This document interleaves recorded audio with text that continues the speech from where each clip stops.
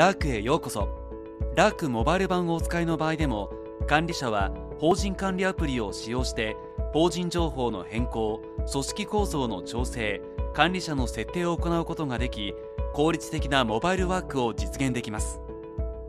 プロフィール写真をタップして法人管理を選択するかまたは検索バーから法人管理を検索してアプリを開きます。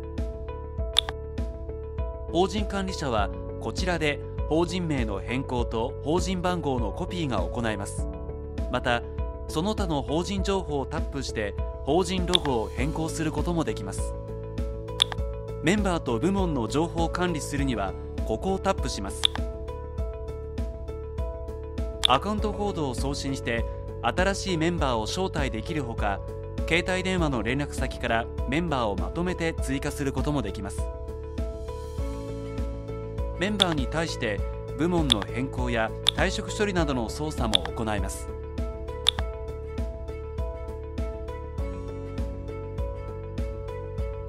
すべての管理者権限を持つスーパー管理者の場合は管理者を設定をタップして新しいスーパー管理者を追加できます。またメンバー名を左にスワイプしてスーパー管理者の役割を削除できます。一部の管理者権限のみを持つ一般管理者の追加などより豊富な管理機能を使用するには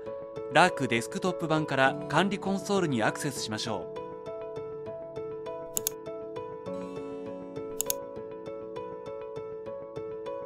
法人管理アプリに関するご質問などがございましたらラークヘルプセンターにアクセスするかまたはカスタマーサービスまでお気軽にお問い合わせください。もしこの動画が役に立ったら役に立ったを押してくださいね。